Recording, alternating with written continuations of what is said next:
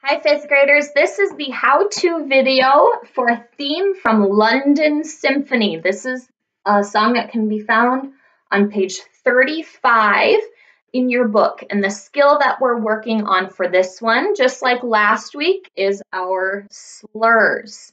So I'm going to play through this one and I'm going to follow all the repeats for this one and I'll get I'll get to explaining that with you guys later. So for now, go ahead and listen and just kind of pay attention to what my bow is doing as I change notes.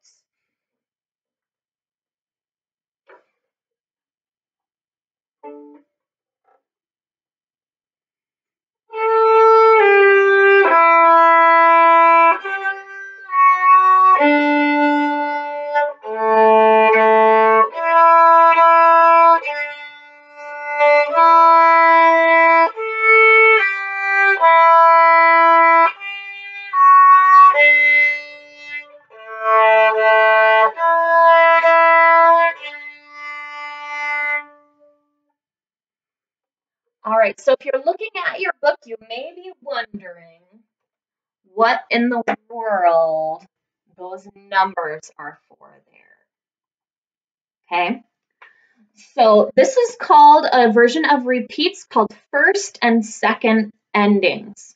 So if you were following along as you're listening, here's kind of what I did in terms of where I was in the music. So the first time that I played through this song, I started at the beginning and then I played up to here and then you'll see the bracket here. You'll notice that there's a number one in that box. So the first time I play this song, this is what I play through for here because this one has a number two and I haven't gotten to the second time through yet. So we don't want to do that one quite yet. So first time through, I take the first ending that has the number one. And then at the end of that first ending, you'll see a repeat sign, which is going to shoot us back to the beginning like repeats usually do. So now we're on our second time through the song. So we're going to play it through the second time, but we already did the first ending. So what we are going to do is ignore that little box with the one in it and go from right here skip ahead to the second ending. Hopefully that makes sense. We'll try it a few times through together. So right now we're going to learn our notes a little bit. And we do have a couple slurs in here. So make sure you're looking out for those curved lines that are connecting those two different notes. So what I want to do with you first, I will play a measure and then I would like you to repeat that measure back to me. So we're going to start from the beginning of the theme from London Symphony. Everybody should be starting on an A. Cellos, you will be using your open A string. Violins and violas, you should be using four fingers down on your D string. So here's theme from London Symphony. Get your fingers ready to play A and repeat after me, please. These first two notes have the curved line, so they are going to be slurred together. So we're going to do a down bow for both of them. So listen first and then try to play it back to me. A, G, E. Then you try to play the please. One, two, ready, go. A, G, E. Okay, let's try the second measure. I'll play it first. Get your fingers ready for G. My turn first. Ready, go. G, F sharp, D. Then you try to get your fingers ready for G. One, two, ready, go. G, F sharp, D. All right, so for this next measure, we're going to do a little bit of what's called string crossing. So what we are going to do is use our G string. We're going to have one finger down on our G string to make that nice low A. And then all we're going to do is basically rock our finger from our G string over to our D string since they both require one finger down. So I'll show you how to do that. I'll kind of stand at an angle so you can kind of watch what my finger's doing. So here's measure three. A, A, E, E. So all I had to do, just kind of switch my fingers back and forth like that. So let's have you try that one. Just rock your fingers from one string to the next one. One, two, rock your fingers, go. A, A, E, E. All right, so since this is our first time through the song, then we are going to take our first ending, the one that has the number one by it. So for our first ending, here is what that sounds like. We're using open D for this one first. Listen first.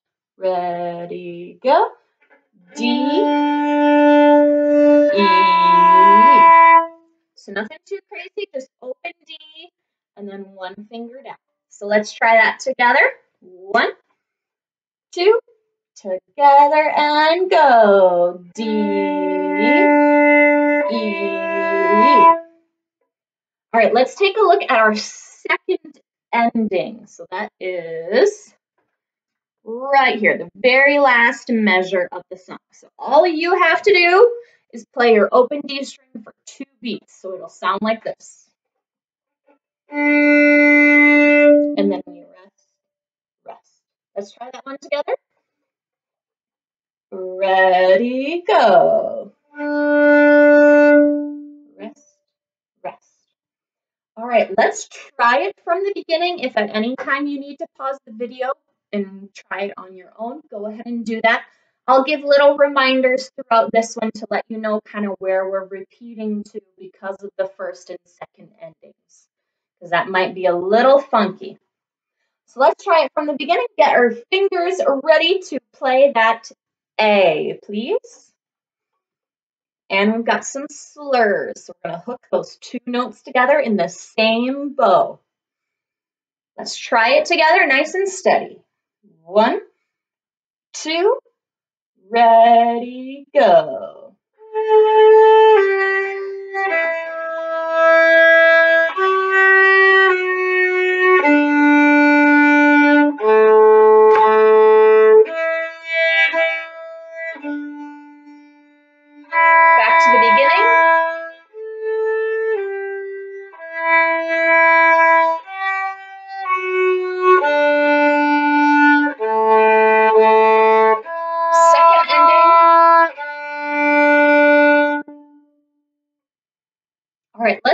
Again without me giving you some reminders of where to go when for those repeats. So let's start again from the beginning. Get your fingers ready for A if you're a violin or viola or bass. One, two, ready, go.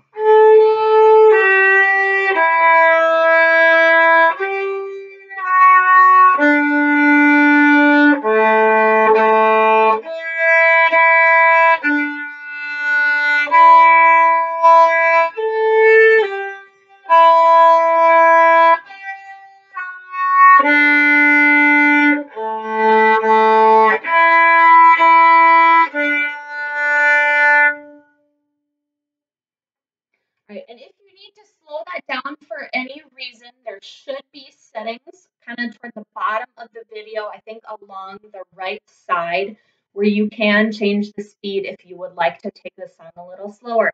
But that is how to play the theme from London Symphony.